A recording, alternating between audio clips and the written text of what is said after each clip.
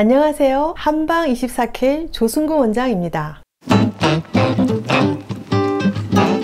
모기의 머리가 제대로 얹혀져 있는가?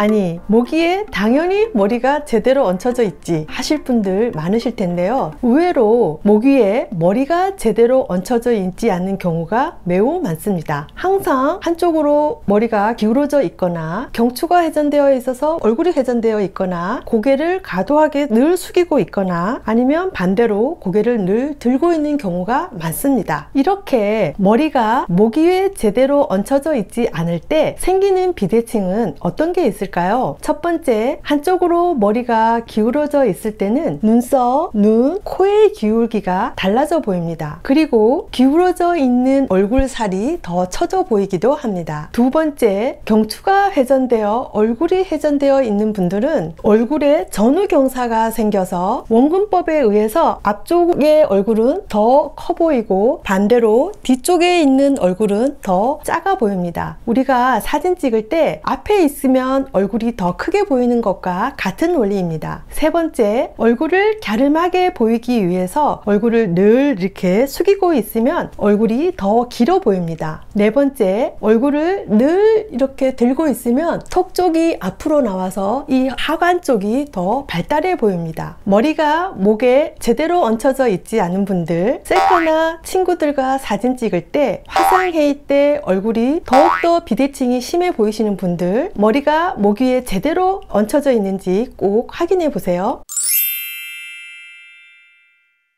첫 번째, 정면 사진을 다른 분들한테 찍어 달라고 하세요. 첫째, 사진을 보고 미간 중간에서 턱의 중심까지 연결선을 이으세요. 둘째, 양쪽 눈꼬리를 연결하는 선을 그으세요. 얼굴 형태가 중앙선에서 얼마나 벗어나 있는지를 확인할 수 있습니다. 두 번째, 측면 사진을 찍어 달라고 하세요.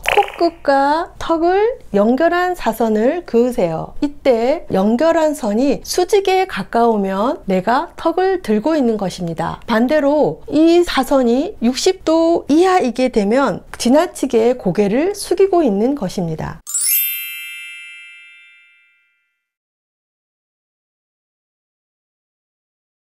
이와 같이 셀프 체크 후 모기에 머리가 제대로 얹혀져 있지 않는 분들은 우선 경추와 거북목을 교정하시기를 추천합니다. 그리고 본인 스스로도 머리 위치를 바른 위치로 두도록 노력을 해야 합니다. 처음엔 바른 자세가 매우 어색하지만 바른 위치일 때 그 감을 스스로 느껴서 그 자세를 유지하도록 노력해야 합니다. 의외로 머리를 제대로 가누고 있는지를 모르고 있는 분들이 많습니다. 모르면 개선할 여지가 없지만 일단 알게 되면 고칠 수 있는 출발점이 되기 때문에 아는 것이 매우 중요합니다. 목과 머리가 바른 위치로 정렬되어 있지 않으면 안면 비대칭이 진행이 계속 될 뿐만 아니라 심지어 비대칭 수술을 했음에도 불구하고 2, 3년 후 수술 요요가 와서 저희 한의원의 비대칭 교정으로 다시 방문하는 경우가 종종 있습니다. 수술 직후엔 비대칭이 개선된 것 같았는데 언젠가부터 비대칭이 점점 진행되고 있다는 거죠.